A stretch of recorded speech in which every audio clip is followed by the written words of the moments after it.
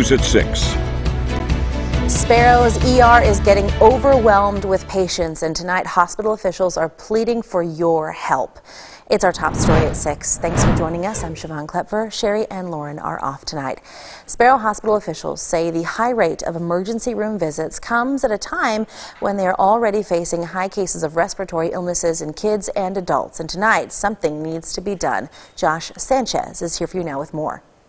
Siobhan Sparrow's interim president tells me while those respiratory illnesses have plateaued recently, it's still putting a strain on their ER teams. He says both the general pediatric and pediatric ICU are nearing capacity.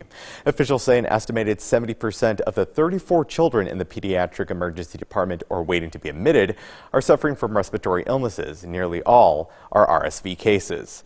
For adults, Chief Medical Officer Dr.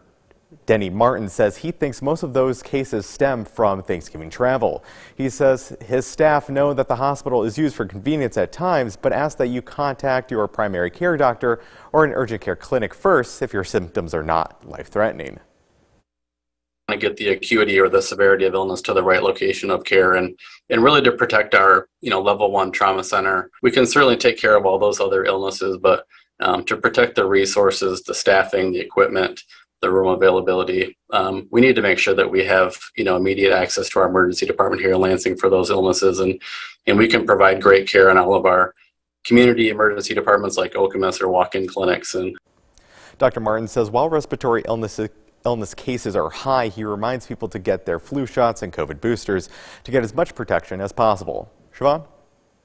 All right, thank you, Josh.